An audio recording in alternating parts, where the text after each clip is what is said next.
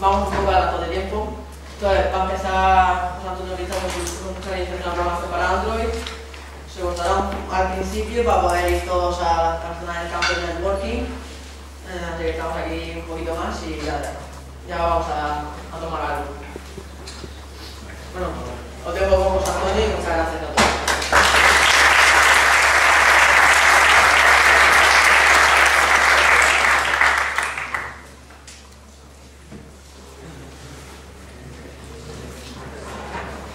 Hola, buenos días. Bien, en primer lugar, me gustaría enfocar qué es lo que vamos a ver en esta, en esta charla o en este pequeño taller, ya que en una hora sería imposible, digamos, iniciarse los fundamentos de la programación para Android, porque podríamos perder fácilmente una hora hablando del ciclo de vida de una actividad, de una aplicación, de la estructura básica de una aplicación y de las clases fundamentales que necesitaríamos para desarrollar para Android. Entonces lo que vamos a hacer es primero explicar un poco de forma mundana eh, la estructura básica de una aplicación en Android, luego el ciclo de vida, es decir, eh, por qué diferentes estados o eventos pasan nuestra aplicación, y luego uno, el snippets de código que vaya a tener que utilizar prácticamente en cualquier aplicación, es decir, por ejemplo, eh, programar una acción para un botón, mostrar una notificación en la status bar, en la barra de, estado, mm, eh, obtener el posicionamiento actual del teléfono mediante GPS o HGPS, mediante triangulación de antena, utilizando también la conexión de datos. Eh, también respuesta a ciertas acciones táctiles, es decir, a una pulsación larga, pulsación corta, a un movimiento flick y demás. Eh, a- en principio vamos a ver solo la parte de la estructura que no necesitamos tirar del emulador, ya que tenemos que, aparte de, hacer un pequeño descanso para no saturarnos, tenemos que preparar el, el entorno, porque al exportarlo desde un sistema operativo Linux a Windows y demás, pues hay las típicas incompatibilidades. Así que bien, eh, empezamos primero el índice de contenido, que es lo que ya he comentado, la estructura básica de una aplicación, el ciclo de vida y luego mi primera aplicación Android, que va a ser un, un Mundo, como ya lo imaginaréis, y diferentes niveles de código. Y por último, comentar también por encima, porque es un poco complejo y, y también llevaría mucho tiempo, y sinceramente tampoco sabría entrar mucho en detalle, una novedad que incorpora Android 3.3.0 Honeycomb, que permite aprovechar eh, el tamaño de pantalla que, que tienen los tablets para mostrar la información. Si habéis visto Gmail en Android 3.0, veis que al pulsar en un correo, por ejemplo, lo que hace es desplazarse hacia la izquierda la lista de correos y a la derecha mostrar el correo electrónico en sí. La estructura básica de una aplicación en Android, mm, lo primero que tenemos que saber es que Android maneja por un lado lo que es el código, como os ha dicho Alberto, en el SDK, que es el que utilizaréis eh, para la mayoría de aplicaciones, es eh, en Java, y por otro lado tiene la interfaz gráfica, que son los layouts. Eh, se definen archivos de XML, que es un lenguaje de marcado bastante estandarizado, y hay diferentes formas de organizar, eh, digamos, la interfaz de usuario. Linear layout, layout, por ejemplo, lo que hace es organizar eh, todos los elementos de la interfaz de forma lineal, lineal perdón, ya sea de forma horizontal o orientación vertical. Entonces, esto es lo más básico debemos, que debemos saber, que por un lado tenemos que manejar, que definir los elementos gráficos de la aplicación y por otro lado el código que será el que, el que sea la aplicación en sí, el que realice las diferentes acciones que nosotros determinemos. Luego la estructura de un paquete de, un paquete de una aplicación de Android es bastante común si habéis programado en Java. Está SRC, que es donde se guardan las clases Java de, de, de nuestra aplicación, el código. Está REST, donde se guardan todos los recursos que vamos a utilizar. Generalmente son recursos gráficos, como, por- como imágenes, como los propios layouts. Dentro de REST, eh, una novedad, creo que se en las primeras versiones de Android no estaba, es adaptar eh, la aplicación automáticamente a diferentes densidades de pantalla. La densidad de, de pantalla no es exactamente la resolución, pero sí que está muy ligada a, la resolución de la pantalla. A más resolución, más densidad de la, más densidad de la pantalla. Entonces, si el dispositivo eh, es HDPI, High eh, Density, pues tenemos que colocar una imagen de más tamaño en esa carpeta, si el dispositivo de densidad media, en la carpeta M, por aquí, grabado MDPI, y si el dispositivo es de densidad baja, de una resolución más pequeña, en grabable, grabado LDPI. Como ya os he dicho, los layouts son los que definen la interfaz gráfica del, usuario eh, en XML. Luego está en la carpeta values, values que contiene fundamentalmente el archivo XML strings que mm, guarda valores estáticos, como por ejemplo eh, qué texto queremos que se muestre eh, en un botón, el nombre del botón, cadena de texto estática como pues, descripciones o ayuda para el usuario, es decir, texto que no vaya a variar o valores por defecto de nuestra aplicación. Un archivo muy importante en el que tampoco vamos a entrar muy a fondo porque es bastante complejo, es el eh, Android Manifest XML, que guarda diferentes parámetros de configuración de nuestra aplicación. Fundamentalmente, eh, en los inicios del desarrollo para Android lo vamos a utilizar para especificar permisos, es decir, para permitir que nuestra aplicación salga a Internet. En el caso del ejemplo que veremos utilizando posicionamiento por GPS, tenemos que permitirle eh, acceso al GPS y además decirle qué tipo de, precisión queremos. Todo esto hay que especificarlo en el Android Manifest.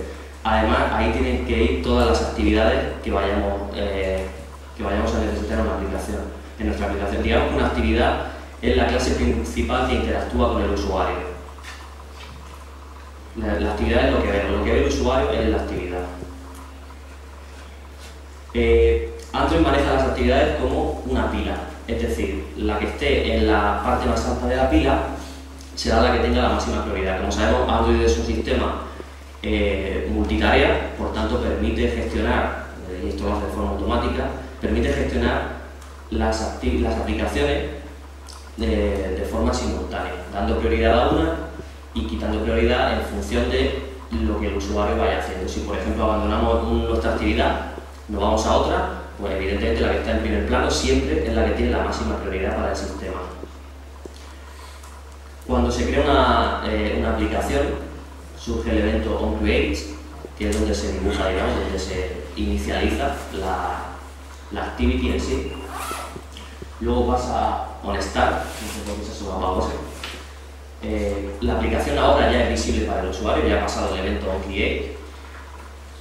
Y onResume es cuando la activity ya eh, permite interactuar con el usuario, es decir, ya responde a, que nosotros pulsemos en determinada posición, si nuestra, si nuestra aplicación responde a gestos táctiles o a diferentes pulsaciones de botones, etc. Es decir, ahora es cuando la actividad está en la parte máxima, en la, en la parte más arriba de la pila que os hemos dicho, que os hemos dicho que Android eh, maneja de esa forma las actividades.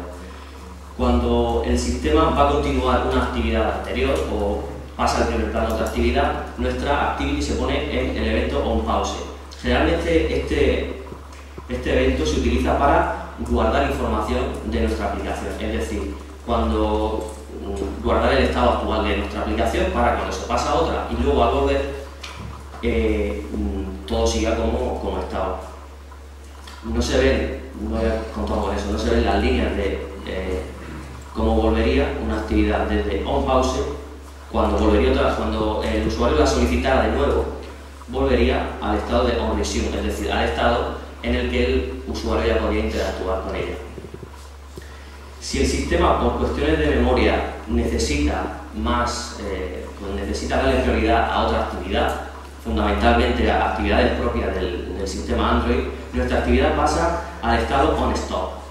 Es decir, ahora pierde, pierde totalmente el foco y lo gana la, actividad que Android considere o que nosotros le hayamos solicitado o que Android considere que tiene que, dar prioridad. Y luego, cuando la reanudáramos, bien porque se lo solicitásemos nosotros, bien porque finalizara la actividad para la que Android eh, ha solicitado más prioridad, pasaría al estado de on start, es decir, a mostrarse visible para el usuario y luego a su estado siguiente, que sería compresión ya totalmente interactiva con el usuario. Por último, eh, la última, el último evento por el que pasa una, una activity de Android antes de ser destruida, es decir, antes de, que el sistema eh, la finalice, es on destroy. que también se puede utilizar, por ejemplo, pues si nuestra, si nuestra actividad tiene diferentes configuraciones o parámetros que no queremos que se pierdan o que, queremos que se guarden automáticamente eh, ante un cierre inesperado o ante un cierre por parte del sistema Android, pues podemos colocar aquí en este, en este método, destroy, pues, las eh, instrucciones que consideremos oportunas. Ya digo, esta es la última, eh, el último evento por el que pasa una activity Android antes de, de ser finalizada completamente y ya pues ya iría de nuevo al inicio en caso de que la solicitara. Eh, vamos a comentar si eso por cuestiones de tiempo y como es muy sencilla, no hace falta tampoco verla en el emulador quizá, eh, la primera, una primera aplicación en Android va a ser muy sencillo la mundo, como en cualquier lenguaje de programación suele ser ya habitual. El código Java vais a ver que tiene el nombre del paquete, los imports, con Eclipse la verdad o cualquier IDE es realmente sencillo porque si nosotros solicitamos una clase o un método que, mm, que no está disponible porque no lo tenemos importado, no tenemos importada la librería, eh, Eclipse nos va a sugerir automáticamente que importemos esa, esa librería en sí. Entonces, eh, va a ser algo que no nos tenemos que preocupar prácticamente de, hacer los imports. Nosotros mm, consultaremos en web o demás o en la web de developer de Android eh, diferentes métodos que necesitemos para nuestra aplicación y cuando el sistema nos muestra un error porque dice que ese método no está, o esa clase no está reconocida, simplemente Eclipse nos dirá, eh, ¿quiere usted importar este, esta librería? Así que no vamos a detenernos mucho comentando los imports.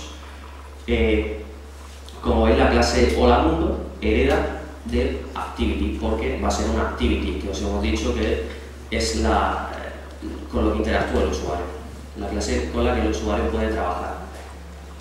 Se sobrecarga el método, evidentemente, y el evento, si recordáis de antes del ciclo de vida de una aplicación, eh, nosotros vamos a inicializar nuestra aplicación, como hemos comentado, en onCreate, donde con el método setContentView le vamos a decir que nuestra aplicación tiene que utilizar como diseño, es decir, como layout, pues un layout, un layout que tenemos ya especificado y que veremos a continuación. El layout es muy sencillo. Primero eh, la versión de XML y la codificación que se utiliza.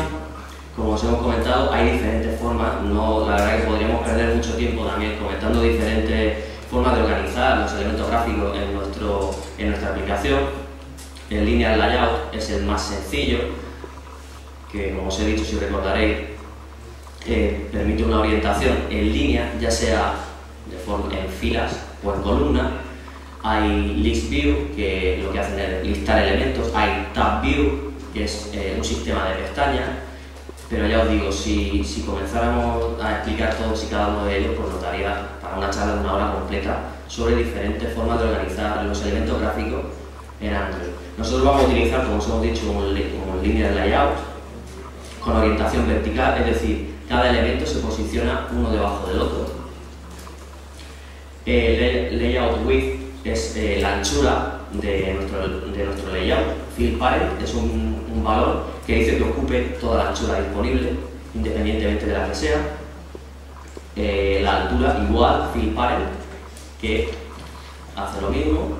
Y luego vamos a especificar una imagen de fondo que previamente hemos creado con la resolución oportuna en este caso para dispositivos de eh, alta densidad HDPI y que la hemos colocado en la carpeta correspondiente, si recordaréis que era Drawable HDPI.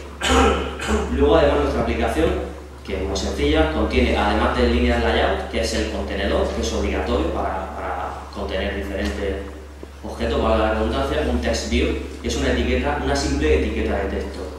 El ancho ocupando toda la pantalla, la altura adaptado al, tamaño del texto, depende, a, texto a, una mayor, a un mayor tamaño, con mayor altura lógicamente, el color del texto, primero hay que especificar mm, este valor. si recordaréis la escala RGB,